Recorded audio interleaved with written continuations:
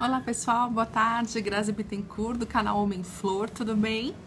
Bom, no finalzinho do ano passado eu viajei, eu fui pro litoral passar férias. E lá a gente tem um abacateiro que eu plantei quando eu tinha 15 anos, é, né? Abafa, 40, quase 42. É, e o abacateiro tá gigantesco. E de repente começou a nascer um cacto no abacateiro que os passarinhos trouxeram. Meu pai fala que foram os passarinhos que trouxeram.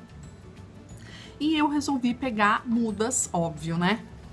Pegar mudas desse cacto. Então, três dias antes de voltar para São Paulo, eu fiz a muda é, por folha, deixei secar, cicatrizar e trouxe de volta para São Paulo e coloquei sobre um vaso e deixei ele na meia sombra. Né? O que a gente faz sempre que a gente vai tentar germinar é, fazer uma muda por folha, não germinar semente, perdão, fazer uma muda por folha. E aí nada acontecia, nada acontecia, nada acontecia, e eu particularmente não tinha visto ainda esse cacto ao vivo, ao vivo e a cores aqui em São Paulo.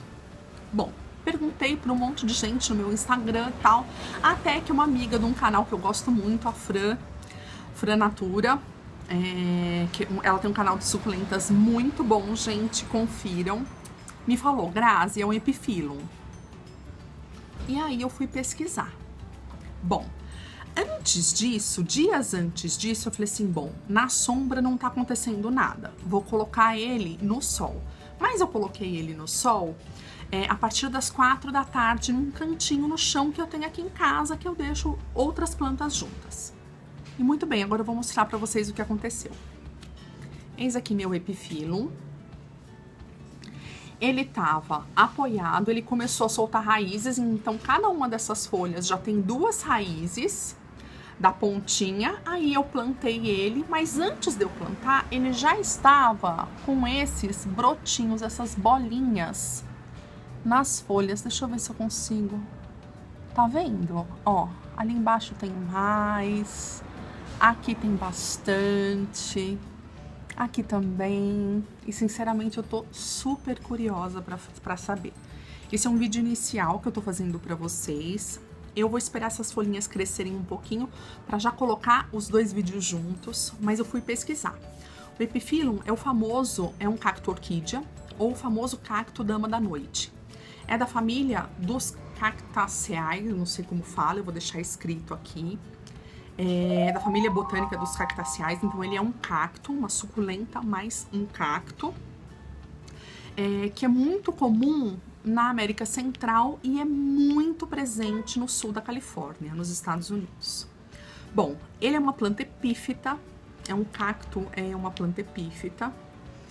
E, todos, é, e assim, não sei se todos sabem, mas as plantas epífitas não são plantas que dependem de outra planta para se alimentar. Ela elas apenas gostam de crescer apoiadas numa outra planta, digamos assim, sobre uma outra planta.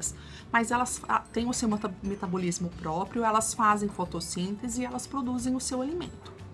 Para plantá-las em vaso, substrato extremamente drenável, trata-se de um cacto, né? Substrato extremamente drenável. Ela não precisa de sol direto, ela pode é, ela vai bem no sol, mas ela também vai bem na meia sombra, ou seja, um local com muitíssima luminosidade. A reprodução dela, né, as mudas, a gente faz dessa forma que eu fiz, através das folhas, ou também por semente, mas por semente é um processo extremamente longo, o crescimento é bem lento, mas também é possível. Então, assim, esse é um vídeo inicial que eu tô fazendo para vocês no meu Epifilum. Uh, Fran, obrigada por me ajudar a identificar essa, esse cacto. Vamos acompanhar porque eu estou muito curiosa para saber o que vão surgir dessas bolinhas, né? Vamos lá. Então eu vou aguardar ele crescer um pouquinho e muito, muito, muito em breve eu coloco a atualização dele juntinho desse mesmo vídeo é, para vocês, tá bom? Um grande beijo e até o próximo. Até mais. Tchau, tchau. Bom dia, queridas. Aquele primeiro vídeo eu gravei é, na quarta-feira, dia 8.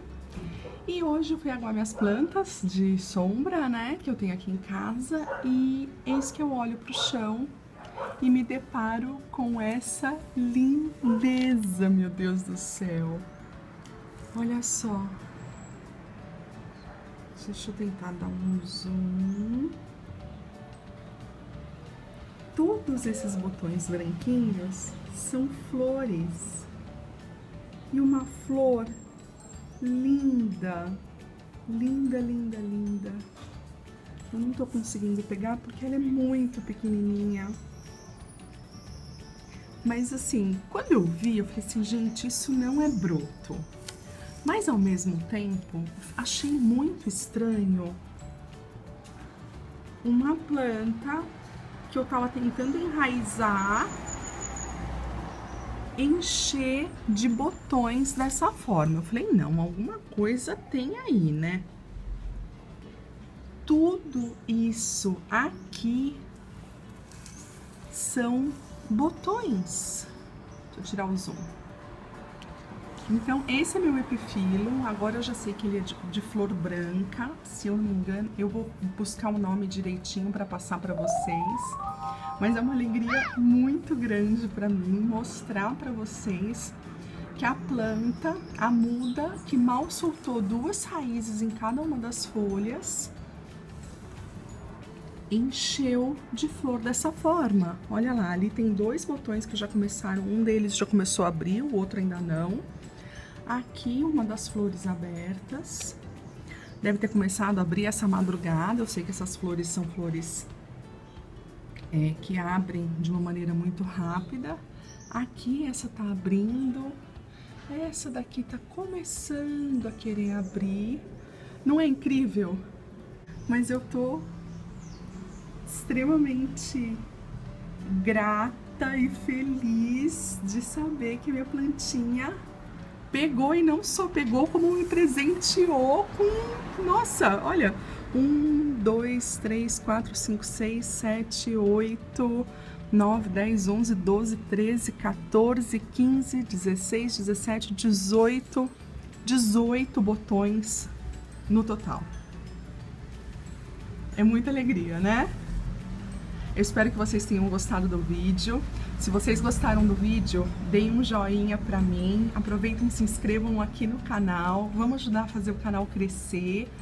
O canal ficar mais bonito, com mais comentários, com sugestões de vocês sobre plantas que vocês querem ver. Ok? Um grande beijo e até o próximo.